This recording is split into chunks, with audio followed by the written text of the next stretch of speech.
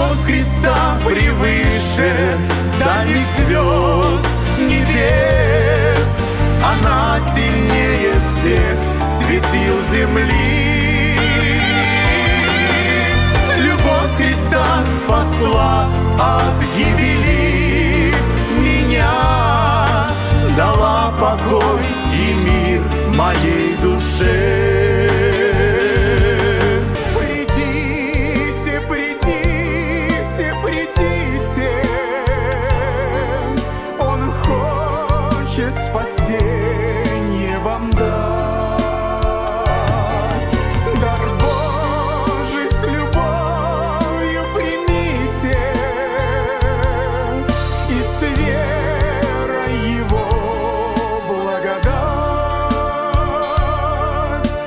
Пожалуйста, Сергей. Господи, я хочу гореть, я не хочу быть теплым. А Бог зовет только тех, кто жаждет. Гаврилов Сергей, 48 лет, а, родился в России, в Челябинске, и буквально в 6 лет с родителями приехали в Таджикистан, и почти 35 лет прожил в Таджикистане, в столице, в городе Душамбе. Вот, ну, жизнь без Бога, она, как всегда, ничего хорошего э, с раннего возраста. С 11-12 лет наркотики, вначале легкие, у нас Афганистан рядом, этот трафик, он был давно, в последнее время особо активизировался. А буквально уже годам к 15 наркотики стали посерьезнее, начал колоться. В 16 лет первая судимость, потом срок, потом второй срок. И когда я сидел третий раз в колонии строгого режима, я сидел в тюрьме есть тюрьма. Вот, карцер. А сидел там, и было время почитать. Разрешаю читать. Вот. Я любил читать всегда. Прочитал очень много книг. И как-то я подумал, слушай, вот много говорят о Библии, а я тебя ни разу не читал. Дай попробую. Вот, ну, попросил, мне принесли Библию. Прочитал первый раз и даже как-то обидно стало, не понял. Стал на себя злиться, как не понял. Простая книга, бабушки понимают, как ты не понял. Стал второй раз читать и не заметил, как оказался в углу на коленях, просил у Бога прощения, просил его принять меня к себе. Особенно мне понравился рассказ о двух разбойниках. Вот я подумал, что человек, приговоренный к смертной казни, перед смертью, уверовав, попал в Царство Божие, я никого не убивал, я по сравнению с ним намного святее, значит, у меня есть больше шансов. Да, да, да. Вот, и так я покаялся в 2005 году. Ну, а заставило что э, Библию э, искать или просить? Просто интерес. Просто интересно. Просто интерес. Или- Да, о Боге я не думал. Не о. Боге я не думал. Нет, Просто интерес. Еще раз вижу, как это просто было чудо Божие. Он сам ко мне пришел. Как говорят, для Слова Божьего нет уз. Вот. И до 2000 года, с 95 до 2000 до Дня освобождения, я был в тюрьме, есть молитвенная комната, а, был там лидером. И со Дня освобождения сразу вышел То есть это после того, как уже ты познал Господа, узнал Бога, да? Да. Там была особая какая-то комната Да, молитвенная? да, да, да. Это был мой маленький монастырь. Вот, и я благодарен Богу за эти пять лет. Просто благодарен Богу. Знаете, я понял одну вещь. Трудные времена, тире, лучшие времена. Со временем мы это понимаем. Трудные времена всегда являются лучшими временами. И вот я там научился и молиться, там я учился познавать его через слово, там я делал первые попытки проповедовать. И вот уже 11 год э, в служении. Сначала пять лет служения было только в Азии, в Таджикистане. А потом, мы, когда я женился в 2005 году, мы с супругой переехали а, в Молдову. Там учились а, в теологическом колледже. Благословенный колледж, я думаю, один из лучших на территории СНГ. Вот, и последний год, уже второй год, мы находимся на Украине, в городе Хмельницкий. Вот, пока Господь ведет так. Ну, как находимся? Получается, живете там, да? да, снимаем квартиру. Ну, получается, что в течение года, два, два с половиной, три месяца в Хмельницком, а месяца два-два с половиной в Таджикистане, месяца полтора-два в Америке, месяца полтора-два в Германии. Также, а на остальное ходит Россия, Украина, Белоруссия. Вот. И я думаю, что мы должны быть максималистами. Богу или все, или ничего. А, знаете, есть белый цвет, есть черный, а есть серенький. Слияние одного и второго. Вот я не люблю посредственность. Посредственность – это лучший среди худших и худший среди лучших. Вот, поэтому я считаю, что девиз простой. Кто, если не мы? Когда, если не сейчас? Где, если не здесь? Кто, если не мы, это значит, если не Кто, мы если не я? христиане. Да, где, если не сейчас? Где, если не здесь? Когда, если не сейчас? Вот, а почему так, э, может, экспрессивно? Я как-то пообещал Господу, что буду последнее, любое мое служение проводить как последнее в жизни. Вот, и где-то у меня уже несколько лет так вот получается. Я любое служение провожу как последнее в жизни, независимо от количества, от аудитории, и все. И я Сергей, думаю, это же много нормально. усилий надо. Ну, а как? Ну а, А как служить Богу без усилий? ну а как так получается, что разные обстоятельства жизни, разные страны, и вот всегда быть максималистом? Ну, а я не знаю, как иначе. А иначе и не стоит. Иначе и не стоит. Если Ну, делать, то, то делать. Да. Мгм. Пожалуйста. И э, э, вчера я заметил, э, так из проповеди твоей, что в этом, наверное, самую большую роль играет посвященная молитва Богу, да? Вот давай мы об этом поговорим. Почему так важно а, человеку вот эта молитвенная жизнь, состояние молитвенного а, а, перед Ну, я об Богом? этом сегодня буду касаться. В общем-то, Бог нас для этого и создал. Бог нас создал для общения с собой. Это смысл жизни человека на земле. А в вечности мы будем с Ним общаться вечно. И получается, общение с Богом это, это не просто одно из важных, это единственное. Важное и главное жизни. Да, Сергей, я, э, пользуясь этим эфиром, я бы хотел предоставить тебе вот эту возможность. Вот твоя камера, ты можешь э, выразить все, что есть у тебя в сердце, что Бог вкладывает в твое сердце в данный момент. Ты можешь поделиться с телезрителями. Я буду здесь присутствовать. Если какой-то будет вопрос, я буду э, тебе его задавать. А пока ты можешь, пожалуйста, вот твоя камера. Спасибо, Вот, Александр. да, пожалуйста, да. Ну, есть жизнь, есть существование. И многие люди живут между тем, что было, и между тем, что будет. В вакууме, хотя есть что-то, что есть сегодня. Прошлое оно прошло. Не стоит много о нем думать. Будущее еще не наступило и может не наступить. Но всегда есть настоящее, всегда есть сегодня, всегда есть сейчас. А многие христиане живут между тем Христом, который был, и между тем Христом, который грядет. Но я думаю, очень важен Христос, который есть сейчас здесь, в нас и живет через нас. Мы, христиане, отлично знаем, где Он был 2000 лет назад. И великолепно знаем, чем Он занимался 2000 лет назад.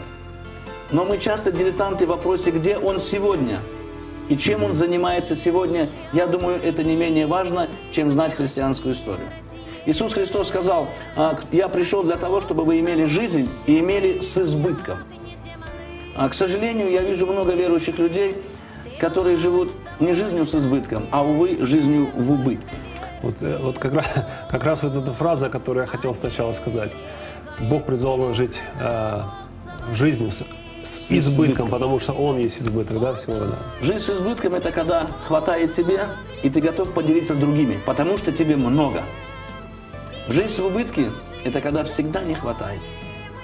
И я всегда шучу, что у этих людей в молитве любимое, Бо- любимое имя Бога – Эль-Шадай, потому что их доносят «дай, дай, дай, дай».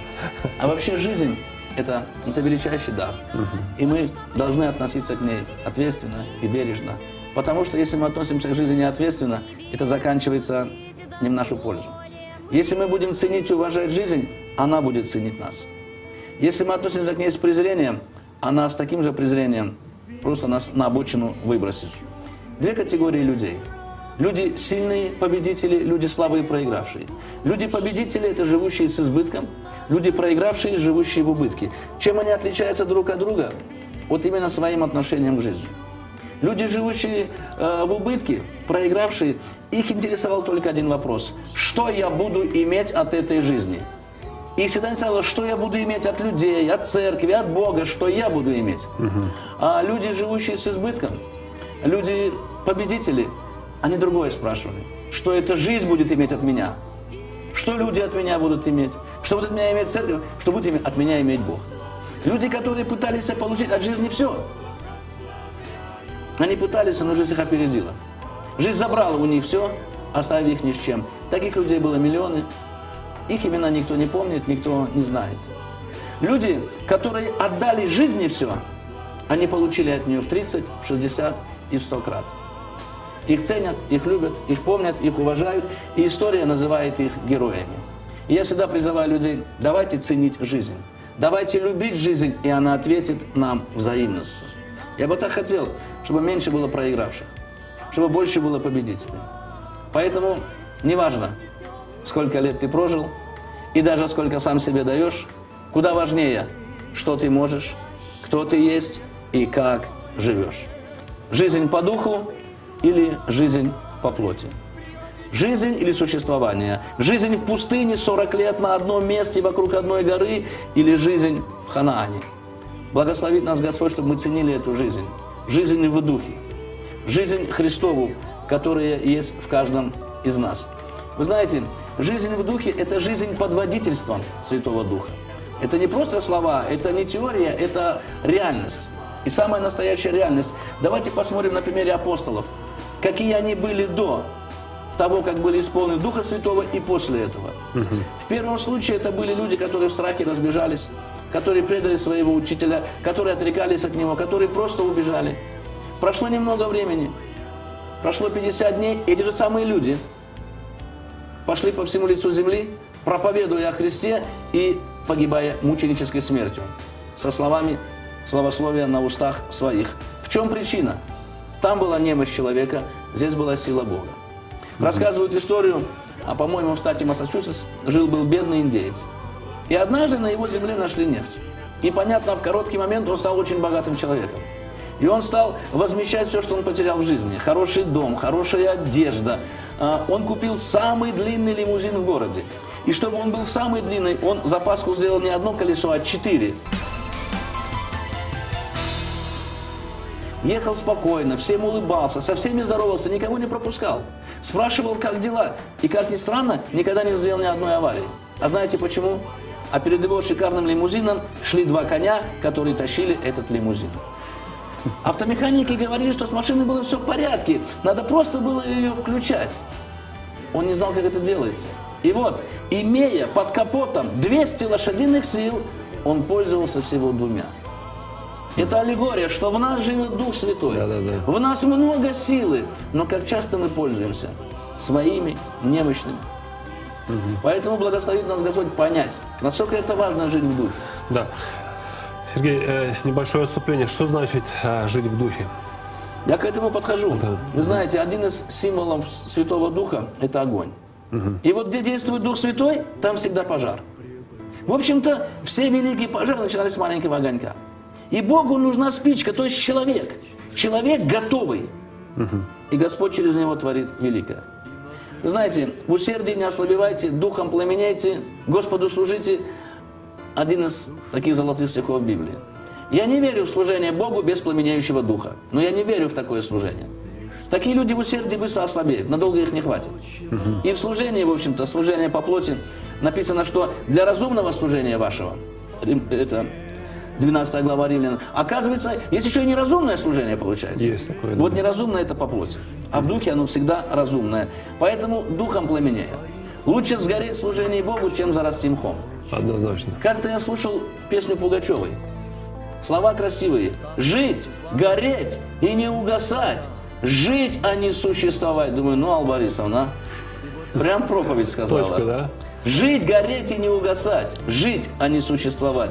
Благословит нас Господь. Иисус сказал, кто жаждет, это не для всех. Сначала Он говорит, придите ко мне все. Пришли. А теперь начинается особый отбор. А вот теперь из тех, кто пришел, кто жаждет, вот тут иди ко мне и пей. У того, кто верует в меня, как сказано в Евангелии, из чрева потекут реки воды живой. И написано, сие говорил о духе, которого имели принять верующие, ибо не было еще на них духа, потому что Иисус не был прославлен. То есть это не для всех. Только для тех, кто Только- жаждет. Жизнь в духе для тех, кто жаждет. Что такое жажда? А, Иллюстрация. В одном монастыре один молодой монах спрашивал игумена. Старец, ну объясни мне, дай мне понять слово жажда. Он долго за ним бегал, старец говорит, идем. Подвел его к бочке с водой, взял за волосы, сунул головой и держит. Вытаскивает, тот такой ошалел, задыхается, он его снова туда. Вытаскивает снова, потом вытаскивает, чего ты больше всего хотел? Он говорит, дышать хотел больше, чем жить. Он говорит, вот это и есть жажда. Когда тебе нужен Бог, Дух Святой, больше, чем жизнь. Вот это вот и есть жажда. И вы знаете, что интересно? Бывает, какая-то есть сила в природе. Она есть годами, но люди ее не знают и не пользуются. Например, атомная энергия. Она всегда была, только в последнее время люди стали ее использовать. Использовать. Вот так же вот было и с Духом Святым. Он был всегда, но только после Пятидесятницы люди могли эту силу использовать. Без Голгофы никогда бы не было Пятидесятницы. То есть только узнав Иисуса, люди могут узнать Святого Духа. До Пятидесятницы Дух Святой был и действовал как сила. После Пятидесятницы он стал действовать как личность. Потому что он есть живущий, воскресший в нас Господь Иисус Христос. Я бы так хотел, чтобы мы уловили, насколько это важно жить в духе. Римлянам 5, 8 глава с 5 стиха. «Живущие по плоти о плотском помышляют». У них свои интересы. А живущие по духу о духовном. Свои интересы. Да. Помышления плотские – смерть. Помышления духовные – жизнь и мир. Плотские помышления – вражда против Бога. И Богу угодить Богу не покоряются, и закону Божию не покоряются, да и не могут. Поэтому живущие по плоти Богу угодить не могут. Но написано, вы не, не по плоти живете, а по духу, если только Дух Божий живет в вас. Если же кто Духа Христова не имеет, тот и не его. Почему это важно? Я однажды думал, думал, думал и понял. Во-первых, Дух Святой – это автор молитвы. Римлянам 8.26. Дух подкрепляет нас немощах наших, ибо мы не знаем, о чем молиться как должно. Мы не знаем, о чем даже молиться как должно, правильно. Но когда во мне молится Дух Святой через меня, то эта молитва достигает Отца. Я когда стою на колени, я говорю себе, что моя молитва могущественна и эффективна. Почему? Потому что во мне молится Дух Святой, через Бога Сына к Богу Отцу. Такая молитва не может быть неэффективной. Такая молитва не может быть слабой. В чем разница? Вы знаете, когда люди молятся по духу, для них самое главное в молитве встретиться с Богом для того, чтобы узнать Его волю и исполнить. Для них главное узнать волю Бога, чтобы ее исполнить. Люди, которые молятся по плоти, для них главное что-то от Бога получить, что-то выпросить. И у многих христиан а, Бог как официант в ресторане. Усердно исполняющие Не заказы да. и еще обижаются, когда что-то долго не подает. У кого-то Бог как джин в бутылке. Главное, прочитай правильное заклинание. То бишь во имя Иисуса Христа, и все исполнится. Нет, Он Бог суверенный. Суверенный Бог. Люди, которые молятся по духу, они ищут лица Божьего. Так и написано в Библии. Ищите лица моего. Да не будет у тебя других богов пред лицом моим. От слова лицо происходит слово личность. Людям нужен Бог как личность. Люди, которые молятся по плоти, им не нужно лицо Божие, им нужны руки Божии. И вся молитва «делай, дай, защити, благослови, помоги, руки твои нужны, Бог, делай». До тебя времени нету, извини. Ну, понятно, это вслух не говорится, но молитва, она об этом кричит в небо. Она об этом вопит в небо. Да, да. И вот я всегда подчеркиваю, что Бог нам дал молитву, чтобы она была руль нашей жизни, а мы ее превратили в запасное колесо. Когда авария, вспоминаем о Боге, поменяли колесо, и до другой аварии едем дальше. Очень классно сказано. да. Поэтому, если молитва да. будет рулем, аварий будет меньше. Однозначно. Однозначно. Как мы с тобой уже говорили, если смысл моей жизни общения с Богом и цель моей жизни общения с Богом, тогда главный грех, когда это для меня становится второстепенным. И вообще, на слово грех переводится с греческого хамартия. Не попасть в цель. Вот главный грех сегодняшнего христианства.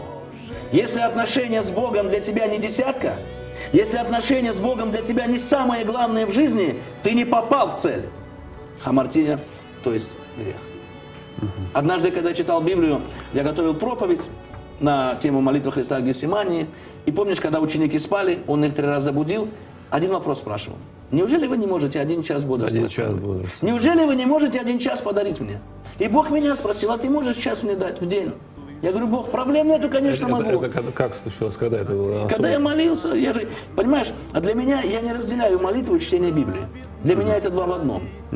Я почти всегда молюсь с открытой Библией, и когда читаю Библию, всегда читаю молитвенно. Я эти вещи не разделяю.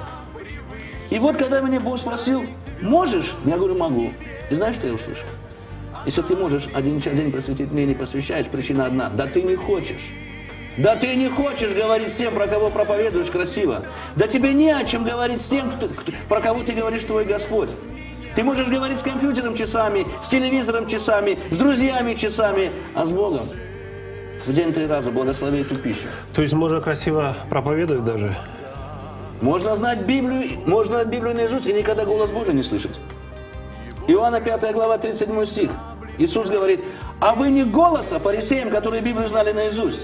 А вы не голоса моего отца никогда не слышали, и лица его никогда не видели, и не имеете слова его, пребывающего вас. Вы исследуете Писание. Вы хотите иметь через жизнь вечную, через них. Но ведь эти Писания говорят обо мне. А в Писаниях? Мы эти методы, принципы вычеркиваем, подчеркиваем. Да Писания говорят о Христе. И он говорит, ну вы не хотите прийти ко мне. Вы ищете принципы, методы, пять шагов успешного бизнеса, четыре шага семейной жизни, семь шагов воспитания детей. Где Иисус? Но вы не хотите прийти ко мне, чтобы иметь жизнь. Оказывается, можно всю жизнь читать Библию и никогда голос Божий не слышать. Но так говорит Иисус. То есть Может, даже- кому-то это обидно, Да. но так говорит Иисус. То есть да, цель э, церкви на самом деле на земле она как бы смещена, да? Я всегда, я всегда говорю, вот, знаешь, почему, почему ты сегодня здесь? Тебя утром Бог поднял. Он тебя поднял, чтобы с тобой поговорить. Вот мы все заряжаем сотовые телефоны. Как без них? Вот этот вот телефон годами не заряженный. Годами не заряжены. Тебе, нас утром, каждое, каждое утро будет Бог, чтобы зарядить, чтобы дать силы, чтобы дать мудрости, чтобы наполнить любовью, чтобы в течение дня мы всегда были с Ним на связи. А люди с утра на другой бок ложатся, переворачиваются. В последний момент встают, умываются, завтракают и на работу, на учебу и даже на служение. Более того, я уже говорил, что автор Слова Божьего тоже Дух Святой. И написано в Писании Деяния 4.25. Когда проповедовал Петр, он говорил, «Боже, Ты устами отца нашего Давида сказал Духом Святым». И цитирует Писание, второй псалом. «Зачем метутся язычники?» То есть Дух Святой, автор. И ты знаешь, когда ты читаешь Библию в духе под водительством, ты получаешь Божье откровение. Аминь. Когда читаешь по плоти, ты просто получаешь знание. Знание. Но знание, оно надмевает. Обычно так. Большие головастики с маленьким сердцем. А откровение Божье, оно будет назидать. Как важно читать Библию в духе. Вот смотри на меня. О чем я сейчас подумал? Не знаю. Не знаешь. Пока я сам не скажу так.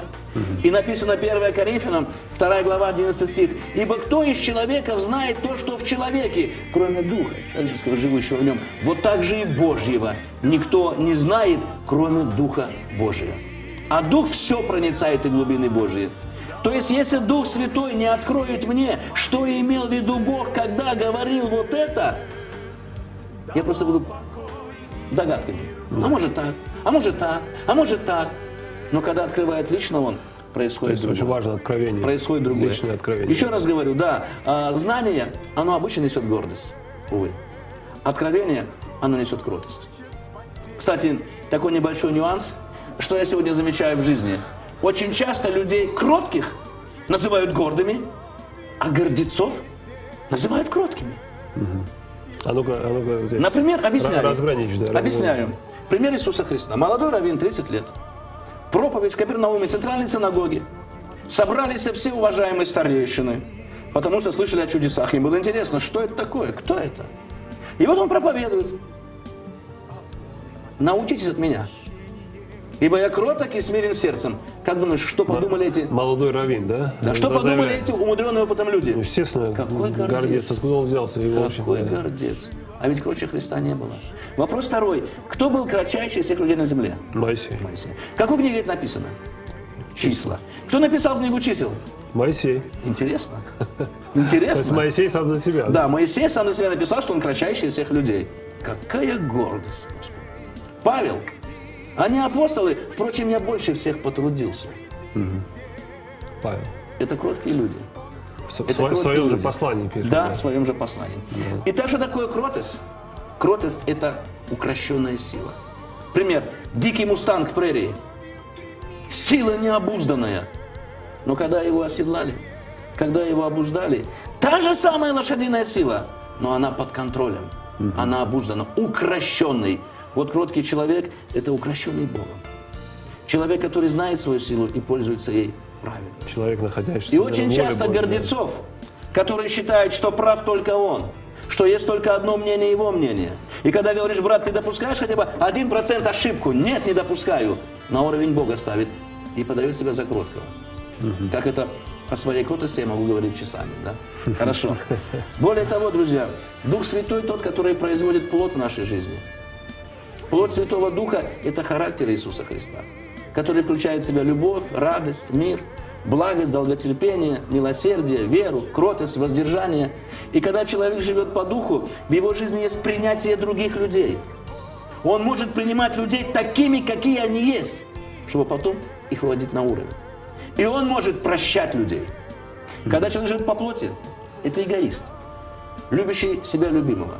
В результате гордость, зависть, жадность, сплетни. Смотришь, думаешь, Господи, а при чем здесь ты? Поэтому плод Святого Духа – это характер Христа. Это характер Иисуса Христа. И вот я всегда подчеркивал, что ветка, ветка, она сама плод не, нес, а, не производит, она просто его несет. А производит плод лоза. Да, да, да. Это единственное. Потому что яблоню вот, вот не ветку, она будет расти. А лозу ветку отрежь, она погибнет. Иисус специально именно лозу взял пример. И вот все, что волнует ветку, это постоянно питаться соком лозы. И когда она это делает, она на себе несет плод, который производит лоза. Мы не можем произвести плод Святого Духа. Мы не можем в силу нашей греховности плотской.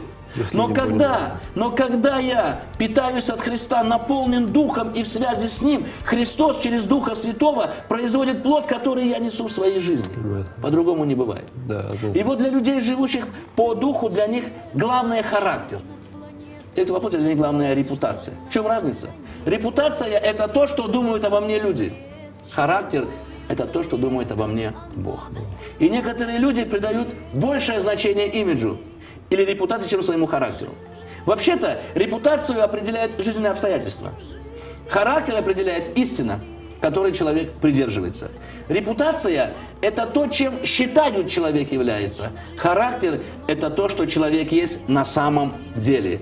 Репутация появляется у человека извне. Характер развивается внутри. Внутри. Репутация – это то, с чем мы приходим в новый коллектив. Характер – это то, что остается, когда мы уходим оттуда. Репутация формируется мгновенно. Хороший пиар, пожалуйста. Да, да, да. Характер на протяжении всей жизни Особенно человека. сегодня, да. А репутации человека можно за час. Характер и года не хватает, чтобы познать. Репутация, как грибы после дождя растет. Характер пребывает вовеки. Друзья, репутация – это то, что пишут о человеке на его надгробном камне. Характер – это то, что говорят о человеке ангелы перед троном Божьим. Я, конечно, понимаю, что репутация имеет большую ценность, ведь Соломон утверждал, что лучше иметь хорошее имя, чем несметные богатства. Но хорошая репутация представляет собой только отражение характера человека. И как говорил благословенный Дуайт Муди, если я позабочусь о характере, репутация сама позаботится о себе. И я всегда подчеркиваю, главное не что я имею, главное, кто я есть. Я знаю людей, которые много имеют, но никем не являются. Главное, не что я от Бога получил. Главное, кем я стал, когда я это получил.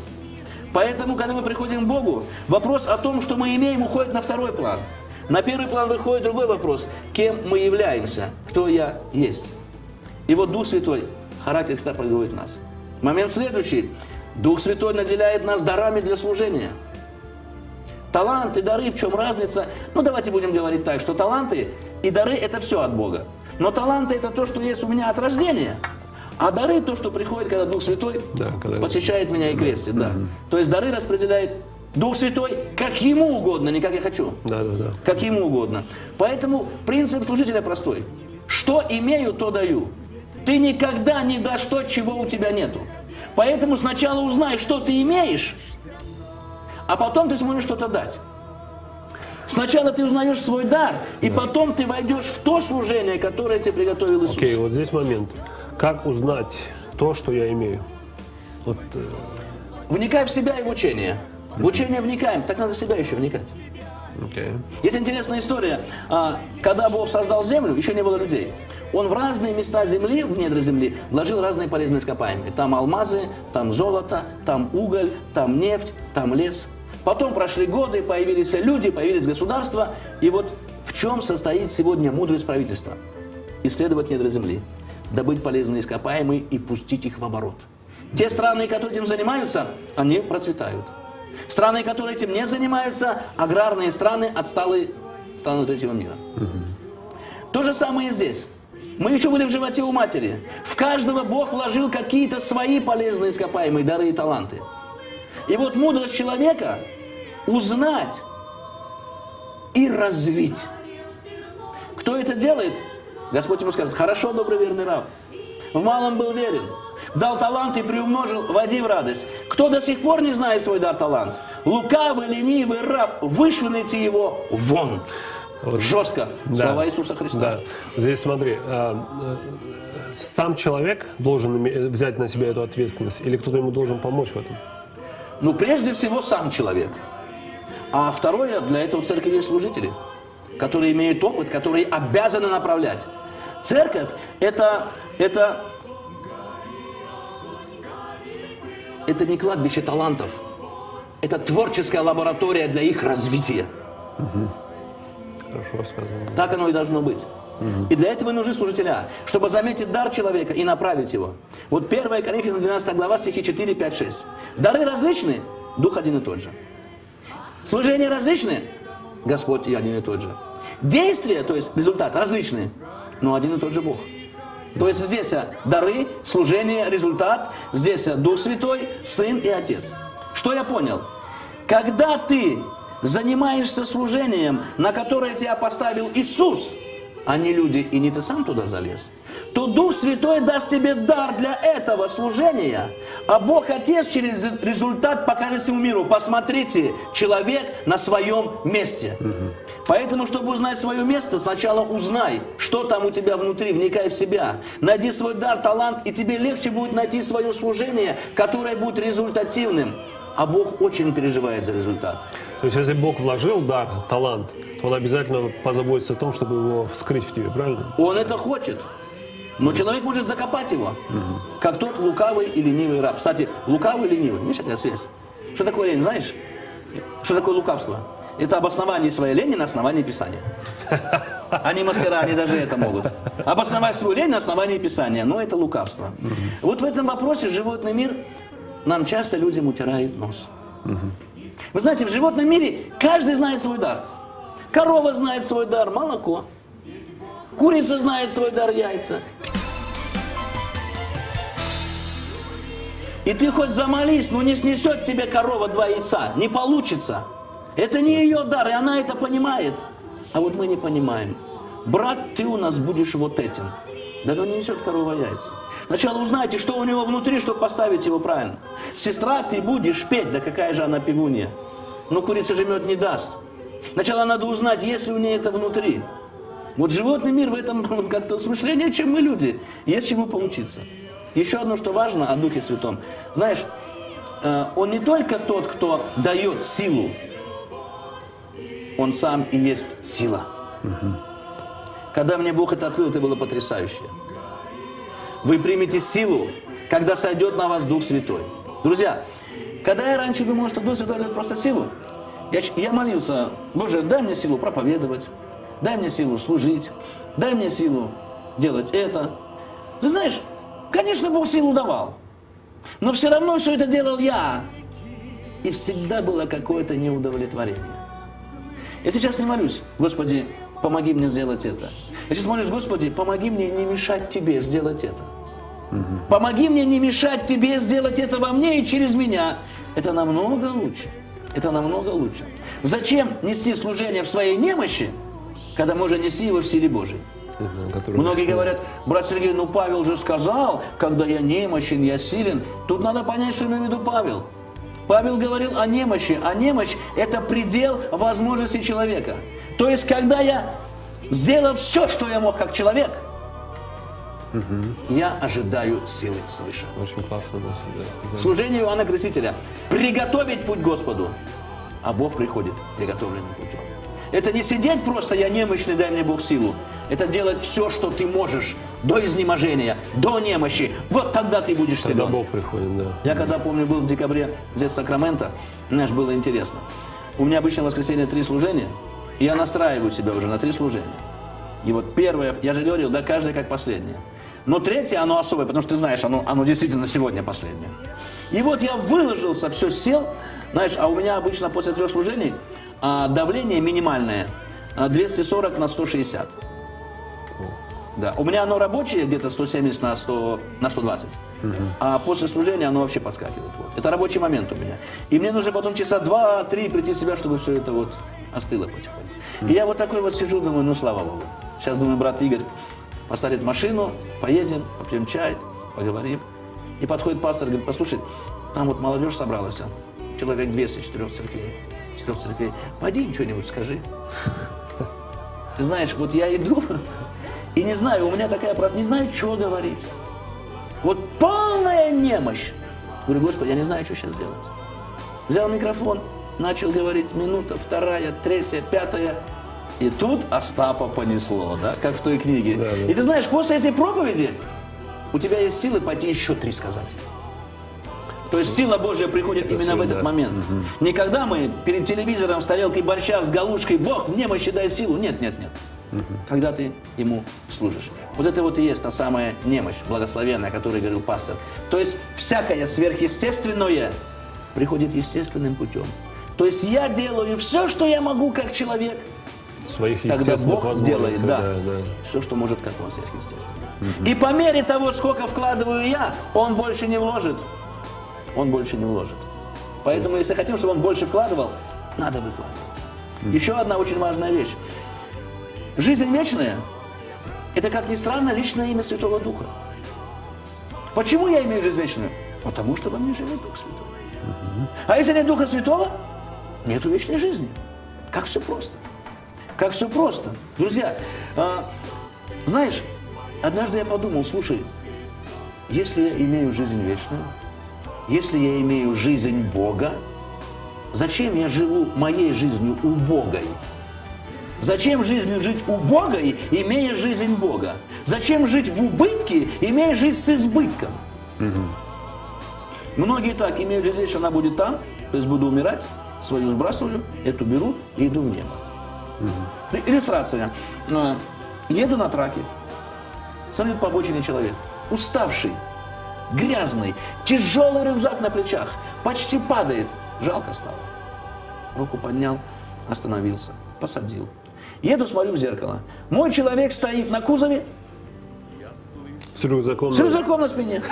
Сбрось! Он говорит, да ладно, ты меня как-нибудь довези, спасибо и на этом. Это мой Господи. Шли со своими бременами, проблемами. Остановился Христос, взял на свой грузовик, везет Царство Божие, да скинь ты эту свою жизнь плотскую. Господь, ты меня, главное, довези, а я как-нибудь. Вот, бочком, бочком, бочком. Удивляюсь. Вы знаете, друзья, жизнь Христова в нас. Ведь это основа. Ведь это основа. Христианской жизнью не может жить ни один человек на земле. Христианство – это Христос. И вот когда Он живет во мне и через меня, а я Ему не мешаю, вот это христианство. А все остальное – театр под названием христианство. Христианство – это Христос, живущий в нас и через нас. Ты знаешь, вот э, женщины раньше делали закрутки. И сейчас делают в странах СНГ. Да, да. Так это. И вот там три операции. Первая – стерилизация. То есть банка должна быть очищена идеально, иначе она потом взорвется, если будет грязная. Этап второй – наполнение. Огурцы, написал огурцы, помидоры, помидоры, варенье, варенье, сок, сок, компот, компот. И третье – закручиваешь, Закручиваешь. чтобы это не пропало. Ведь это спасение. Крест Голгофы, смерть Христа, что это? Стерилизация. Очистить эту банку от всякого греха, чтобы она была чистой. Этап второй – воскресение Христа. Наполнить нас собою. И третий этап – запечатление Духом Святым, чтобы это сохранилось до Его пришествия. Ибо я знаю, начавший вас доброе дело будет совершать его До конца, да. пришествия Христа. По-моему, что-то все попутали, нет? В смысле? Ну, я имею в виду, вот если взять вот эту аллегорию с, э, с закруткой, то мы, как христиане, все это перевернули. У нас знаешь, в чем проблема? Да, да, да. Мы весь смысл сделали на стерилизации. К сожалению, большая часть нашего преподавания и проповедования сводится к одному – заставить людей перестать грешить. Это вообще не является целью христианской жизни. Да, цель христианской жизни – познание Иисуса Христа.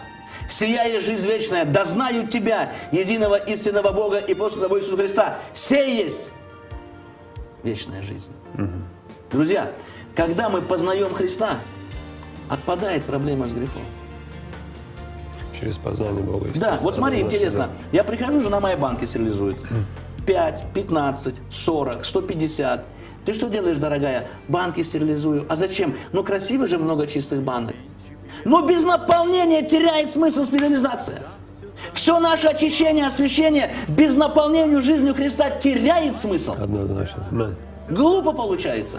Но, увы, это так. Ты знаешь, говорят, э, была одна нация, они ели хлеб из желудей. То есть брали желуди, сушили, э, толокли, э, жа- Стирали, да. жарили, но они не знали альтернативы. Так ели всегда. К ним приехал другой человек и сказал, ребята, как вы можете эту гадость съесть? Ты знаешь, они его чуть не побили. Как ты можешь наш хлеб называть гадостью? Он говорит, постойте, попробуйте это. И когда они вкусили настоящий хлеб, они сказали, вот он хлеб. И с тех пор они желудями кормят поросят. Истина, то, что раньше для них было нормой, когда попробовали настоящее, поняли для поросят это. Если человек грешит, откройте ему Христа, его благодать, его любовь, его принятие, его прощение, и он поймет, да для поросят же это. Но когда он не понял Христа, когда он им не наполнен, ему ничего больше не остается. Кто должен это сделать, Сергей? Это. Кто должен показать? Я с тобой, что ли? А, Естественно, и мы, естественно, люди, которые имеют этот опыт, должны об этом кричать, должны об этом говорить. Вот, и, естественно, каждый христианин должен знать. Великая тайна. Христос в вас, говорит Павел. Христос в вас. Он об этом много подчеркивает. Я бы так хотел, чтобы каждый христианин молился. С раннего утра, Господи, дай мне помнить, что я – это одежда, в которой живешь и ходишь Ты. И дай мне сегодня в течение дня оставаться одеждою. Не быть мною, а одеждою, чтобы ты жил во мне и через меня. Вот представь сейчас звонок тебе. Ты берешь трубку. Говоришь «Алло».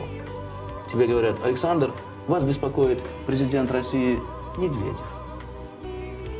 Ты говоришь «Да, я слушаю». Он говорит, ты знаешь, э, Саша, у меня будет недельный визит в Америке, и четыре дня я буду в Сакраменто. У меня тебе огромная личная просьба. Не мог бы ты свой автомобиль предоставить в мое распоряжение? Чтобы ты сказал Медведеву. С удовольствием, да? С удовольствием. Да, Пожалуйста, воспользуйтесь. Вопрос второй. Чем бы ты занимался до приезда Медведева? Понятно, не, понятно, не готовил бы, наверное, да? Или готовил, или бы даже новые купил, да, чтобы стыдно не было. И ты знаешь, когда Медведев уехал, ты бы так говорил, между прочим, да вот мой автомобиль, да так и надо Медведев катается, да что там говорить. Ты знаешь, а сейчас вопрос посерьезнее, сейчас вопрос ко всем. А сейчас к тебе обращается президент всех президентов, Господь Иисус Христос. И Он говорит тебе, Саша, Сергей, Нина, Люба, у меня есть дела в Сакраменто. Там много погибающих людей. Готов ты предоставить в мое распоряжение твою машину? И знаешь, что интересно? Для Медведева мы говорим с удовольствием, не задумываясь. Когда то же самое слышим от Христа, у нас сразу пауза. Стоп. Что мне это будет стоить? И лихорадочно работают мозги. Нету сразу ответа, пауза и мозги работают. Вопрос второй. Для Медведева мы машину чистим. Или покупаем новую. У меня тебе вопрос. Когда последний раз эта машина очищалась?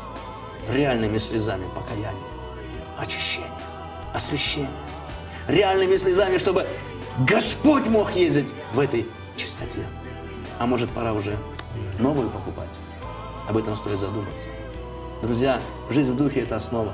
Но ты знаешь, где нету его проявлений, там жизнь по плоти. А это религия. Это всегда было жалкий заменитель, суррогат веры. И там, где мертвая религия, люди чаще смотрят на часы, чем на проповедника. Иоанна 7,37. Кто жаждет, иди ко мне и пей. Это ключевой стих к пониманию того, почему в одной и той же церкви одни люди растут, а вторые перестали. Вот кто голоден по Богу, кто эту жажду имеет, они всегда будут расти. Они всегда будут расти. Меня потрясает Давид. Послушайте, он был пророк. И до конца жизни он сохранил эту жажду по Богу. Почитайте псалмы. Боже, как лань потоком воды душа моя к Тебе. Боже, Ты Бог мой, Тебе от ранней зарю ищу я. По Тебе томится душа моя в земле пустой, сошей безводной. Боже, рассвет предваряю, словом Твоим встречаю. Все псалмы пропитаны жаждой. Может, поэтому он муж по сердцу Божьему. И Бог сегодня ищет жаждущих людей, жаждущих, голодных по Нему. Как много сегодня тех, которые богаты, разбогатели, ни в чем не имеют нужды, насытились. Друзья мои, Павел пишет Коринфянам, вы уже присытились, вы уже обогатились, вы уже стали царствовать без нас. О, если бы вы в самом деле царствовали. Эти люди не ушли в церковь, но они потеряли самое главное. Дорогой мой, Бог сегодня ищет людей, готовых принимать от Него то, что Он им говорит, а не то, что им нравится слушать. Сегодня таких очень много, которые принимают только то, что им нравится, но Бог ищет тех, которые принимают то, что Он им говорит. Поэтому кто имеет уши, тот всегда услышит, что говорит Дух Святой. Если ты действительно жаждешь Бога, я это увижу на твоем лице. Если ты жаждешь Бога, ты будешь влиять на окружающих тебя людей. Люди будут меняться там, где ты. Если ты жаждешь Бога, ты всегда будешь в центре событий, которые происходят в церкви. Ты всегда будешь в центре этих событий. А жизнь по плоти носишь имя, будто жив, но давно уже. А жизнь по плоти не горячий, не холодный, теплый. Теплота. Теплота – это равнодушие. Это, это самоудовлетворение. Это не желание изменить ситуацию. Первое время ты что-то пытался, было стыдно, что-то... А потом как-то так засосало, уже и не пытаешься. Уже просто по течению. Мне одна маленькая девочка сказала, брат Сергей, запиши одну фразу, тебя она прибавит за проповеди. Я говорю, говори, Анютка. Она говорит, пиши, совесть как хомячок. Я говорю, дальше, или грызет, или спит, одно из двух. Красиво. Поэтому пусть лучше грызет, чем спит. Пусть лучше грызет, чем спит. Но люди, которые живут по духу, в том же Откровении 2.19 написано, знаю твою любовь, верность, служение, терпение, и что последние твои дела больше, нежели первые. Вы знаете, последние два года это стало моим девизом. Последние дела должны быть больше, нежели первые. Ты должен сегодня молиться больше, чем вчера, знать Бога глубже, чем вчера, служить Ему больше, чем вчера, жертвовать Ему больше, чем вчера, если ты идешь в небо и живешь в духе. Но когда у тебя ностальгия, когда у тебя все хорошее было там, а сегодня ничего, ты просто расписываешься своей несостоятельностью. Ты просто говоришь всем, что ты пошел в другую сторону. И это жизнь по плоти. Где исполнение Духом Святым, там обязательно свидетельство. Покажите мне одно место в Писании, чтобы было исполнение Духом и не было свидетельства. Вы такого места не найдете. Всегда есть действие. Вы примете силу. Когда? Когда зайдет на вас Дух Святой. И будете мне свидетелями. Как ни странно, мы все считаем себя наполненными Духом. И у меня вопрос, а где сила? А где сила? Где эта сила, с которой апостолы шли и перевернули весь мир? Без интернета, без самолета, без телевидения, без радио, без ничего. Силой Духа Святого. Момент другой. Для чего нужна сила? Для свидетельства. И вы знаете, в Новом Завете слово «свидетель» имеет перевод «мартирус». Тут два смысла. Первый смысл – свидетель, второй смысл – мученик. И все апостолы получили эту силу, шли свидетельствовать до мученической смерти. Это реально нужна сила. По плоти не потянешь. Мы должны быть благовестниками. К сожалению, сегодня очень много людей, я бы их назвал худовестниками. О благих новостях молчат, но худые новости с удовольствием рассказывают. Город, работает пастор, работает 15 лет, и растет церковь, есть молодежь, все молчат. И вдруг пастор упал. Вечером Все весь заговорили. СНГ знает в селах. Все заговорили. Худовестие. Худовестие. Меня знаете, что удивляет? Я покаялся в тюрьме. А в тюрьме ты отвечаешь за свои слова. Если ты в тюрьме один раз не так слово сказал, до конца своей жизни ты никто, сидишь в уголочке. Кто вырос на улицах, улица тоже жестоко учила отвечать за язык. Ну вот люди, которые выросли в церкви, как-то вот никто их не учил, что это наказуемое дело, что за язык надо отвечать. И как-то вот много людей языком расхаживают по всей земле. А ведь по идее наш Бог – это тот, который отвечает за каждое своего слова. А настоящие дети, они похожи на своего отца. И я предлагаю сегодня пасторам. У нас есть реп-центр для алкоголиков, для наркоманов. Давайте откроем реп-центр для сплетников. а. Это же великолепно. Понимаешь, наркоман, алкоголик, он же себе вредит, бедолага.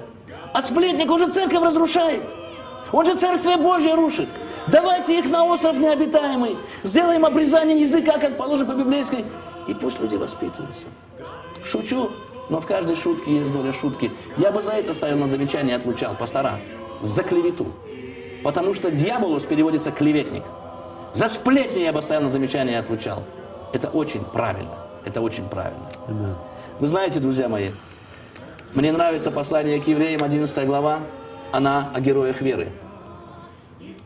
Туда вошли все люди, которые своей верой Бога впечатлили. Это галерея Божьих героев. И я верю, что она не, 40 стихом не кончается. Я верю, что она в небе сегодня продолжает и пишется.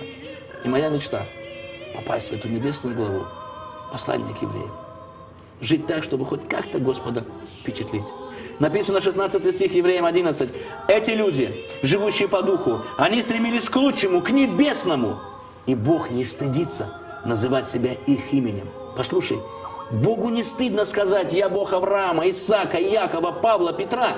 Я молюсь, чтобы Богу не стыдно было сказать, я Бог Сергея. Amen. Друзья, они в усердии не ослабели, они духом пламенели, они Господу служили. И Бог не стыдится. А за меня, не стыдно ли будет Ему за мой огонь служения, за мою молитвенную жизнь, за мое отношение к людям, за мой характер, за мой духовный дар? Неуважительное отношение к дару – это неуважительное отношение к Богу, который дал нам этот дар. Не стыдно ли будет Богу за меня? перед тем, как я помолюсь с вами и за многих из вас, задам вопрос. Итак, Дух Святой – автор молитвы. И вопрос Господа к тебе. Ты можешь один час в день посвятить мне? Или не хочешь? Или у тебя вся молитвенная жизнь, завтрак, обед, ужин, или только тогда, когда какая-то катастрофа? Когда ты последний раз, читая Библию, получил откровение от Бога, не от людей? Дорогой мой, меняется ли твой характер? Если он меняется, первое заметит жена, дети и люди в церкви. Amen. Дорогой мой, знаешь ли ты свой дар и талант? И служишь ли им? Живет ли Христос в тебе и через тебя? Ты живешь сегодня по духу или по плоти? В убытке или с избытком? Amen. И последнее. Когда Дух Святой угошен, огорчен, оскорблен, нету радости, нету жажды, депрессия, скука, тоска, опустившиеся руки. И Дух Святой, автор покаяния, Он пришел, чтобы обличить. Истина Божия всегда ранит. Она сначала делает больно, но потом исцеляет и благословляет. Дух Святой обличил тебя. Ты можешь стать на колени. Ты можешь сказать, Господи, прости меня. Господи, я хочу гореть, я не хочу быть теплым. А Бог зовет только тех, кто жаждет. И ты знаешь, чем ты ближе к свету, тем ты больше видишь грязи. Чем дальше от света, в темноте все кажется чистым. Не стыдно каяться стыдно другое. Не стыдно каяться, стыдно не исполнять волю Божью. Не стыдно каяться, стыдно не знать Бога. Не стыдно каяться, стыдно быть запасным в Его команде. О, Беларусь моя, ты синевокая, дева без так болит.